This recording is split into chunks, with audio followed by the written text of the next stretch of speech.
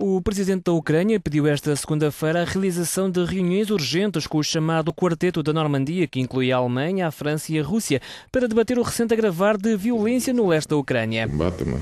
Quase ano e meio após o início do conflito separatista, a situação prossegue violenta. Em Starognatívka, por exemplo, ao meio caminho entre Donetsk e Mariupol, foi registado no domingo um ataque contra quatro veículos blindados ao Serviço da Organização para a Segurança e Cooperação na Europa, a OSCE. A União Europeia considerou inaceitável este ataque atribuído às forças rebeldes. O ministro da Defesa ucraniano anunciou, entretanto, o contra-ataque do exército. Pelo menos três civis e um soldado ucraniano terão morrido nos confrontos de domingo para segunda-feira. Em Orlivka, os residentes sentem-se indefesos.